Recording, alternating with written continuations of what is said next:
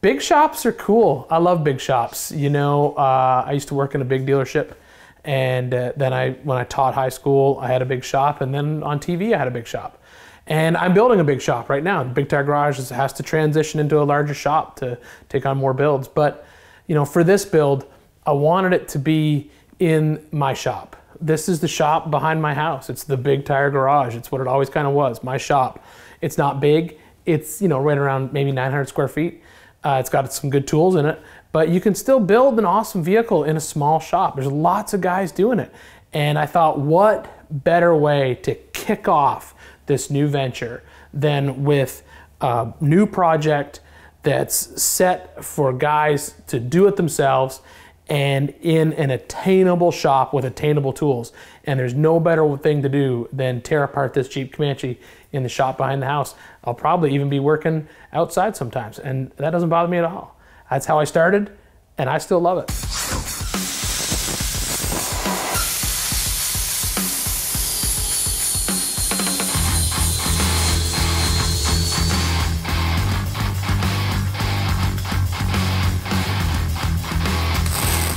So today it's uh, a lot of big things happen to the truck. Uh, we throw a whole lot of parts at it and basically change it from a shell of a body and a little bit of a frame rail to a rolling chassis almost. Um, so it starts with the axles and uh, for this particular truck I'm using uh, Dana 44 axles out of a Jeep JK. You see a lot of JK axles on uh, Cherokees and TJs because um, they're a little bit stronger than the previous generation 44s and they're a little bit wider so you get a good stance. Um, so once I have that axle cleaned up, I sling it underneath the truck, lower the truck down over top of the axle, make sure it's good and square and centered, and then I actually weld the axle to the frame where it will sit when the suspension is fully compressed. That way you make sure there's no sort of uh, uh, interference issues as the suspension cycles because you've got it set all the way up as far as it will go when the suspension is fully compressed. Um, then it's time to build the suspension. For this truck, I got a uh, four-link kit from Artec Industries, and I love their four-link kits because it comes with everything you need to build the kit. It's uh, brackets, tabs, heim joints, misalignment spacers. It's all laser cut, super nice steel, and it even comes with the hardware to bolt it all together. The reason I like this particular four-link kit is that the uh, frame side upper and lower mount key together away from the truck and they basically become their own little superstructure that once it's fully welded, I can then bring it over to the Comanche and weld it onto the uh, frame stiffening plate that I added before. That just gives it a little bit more strength considering I'm welding right onto the unibody and I do plan to tie these into the cage uh, when we start building the cage.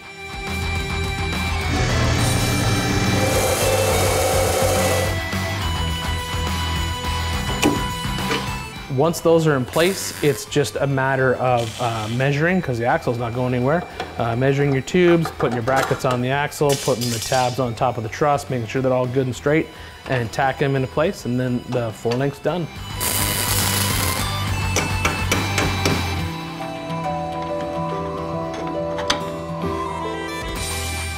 Front axle, it's a little bit different. I originally planned to just get another junkyard uh, Jeep JK Dana front axle.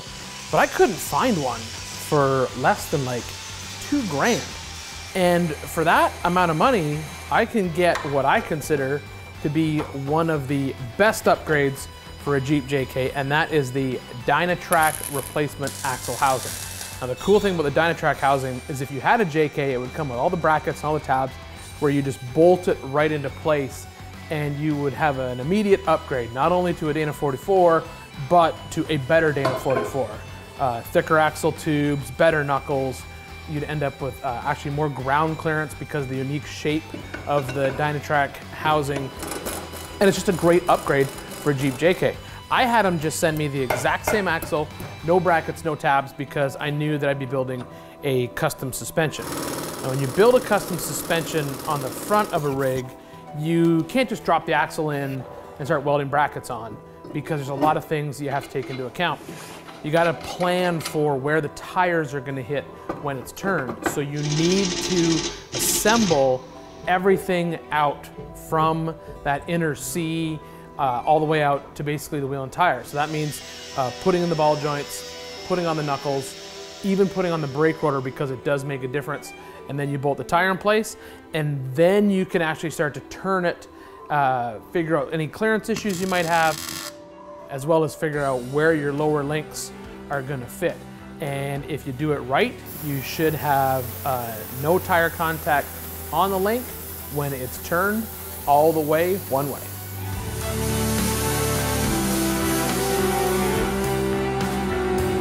The front suspension is gonna be a three link with a panhard bar. And just like the rear, I'm using a kit from Artec Industries. But all I can do right now is get the lower links in place uh, because I need the steering and actually the engine and transmission to figure out where the panhard bar as well as the upper link is. But what I really want to do is see what this truck is going to look like with all four tires on it, sitting at full stuff, because this sucker is going to be low.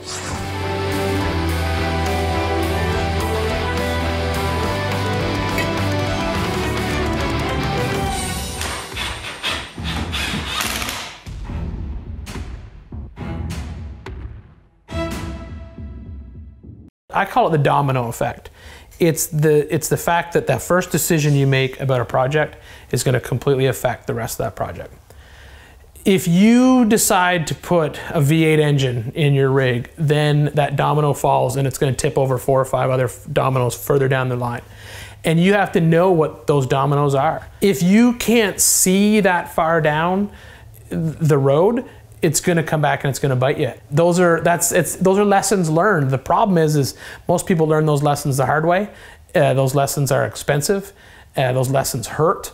They hurt your pocketbook. They hurt your feelings because you've built something and then it breaks and you knew better and now you don't have the money to fix it. Um, but you know, education isn't cheap.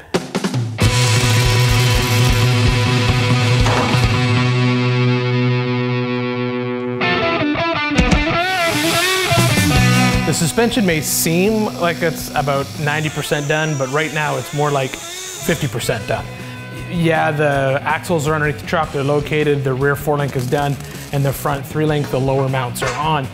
But if done correctly, you will spend more time figuring out upper link placement and panhard bar placement on that front three link because that's really, really important to how that suspension's gonna react. Now for the upper link and the three link, that means that we're gonna have to go ahead and make another uh, frame stiffening plate, but this time for the inside of the frame.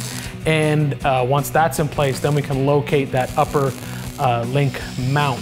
Now, I also, I'm going ahead and I'm actually gonna drill a hole through the floor of the truck because I'll probably end up tying that upper link into the cage at some point in time.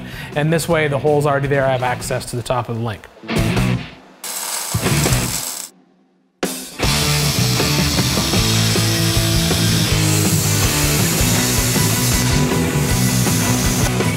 The position of the panhard bar and the drag link and how they work together is probably where most people get intimidated on these front three link suspensions, but it's, it's really not that hard to understand once you just sort of imagine the suspension in, in movement.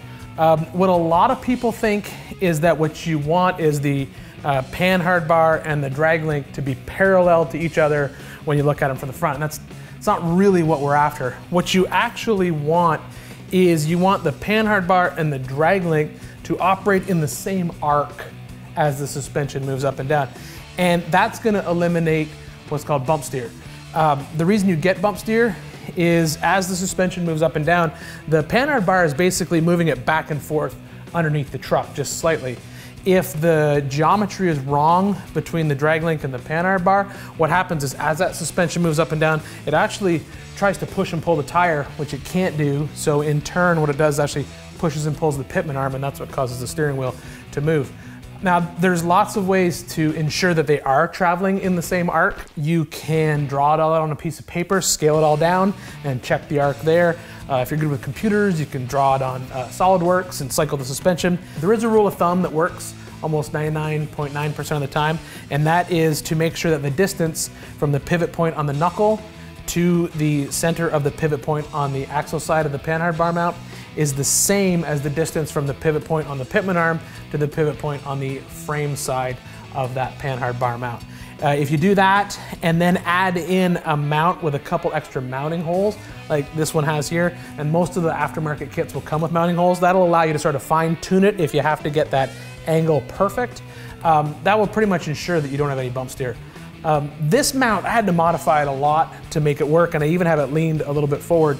And that is because I'm packaging a very special spring package into this truck. I'm gonna use something I've always wanted to try, and that is a set of airbags. So uh, four airbags, one for each corner, and those will basically be the spring in the system. Uh, my theory is it'll give me uh, adjustable suspension, It'll still give me lots of articulation because I'm not gonna mount the bottom of the bag in place. I'm gonna let the axle droop away from that bag. So I'll still have about 14 inches of suspension travel. And it's just something different and cool that I've never done before. So uh, here we go. The rear was just a little bit trickier because I was running out of space. There's no room for the bag between the frame rail and the tire, uh, like on the front axle. So I had to actually move it to the front side of the axle on the inside of the frame. Uh, it's not a huge deal because it actually allows me to integrate a new frame stiffening plate into the upper bag mount, also uh, tie that all into the shock mounts that I got from Artec Industries. Now for the shocks for this truck, I'm using the MetalCloak six pack shocks. I like these shocks because they package really small. They're only like 13 inches long when they're fully compressed, but I'm still gonna get a huge amount of wheel travel. And once those are mounted up, now the suspension is actually finished. Except for all the welding, of course.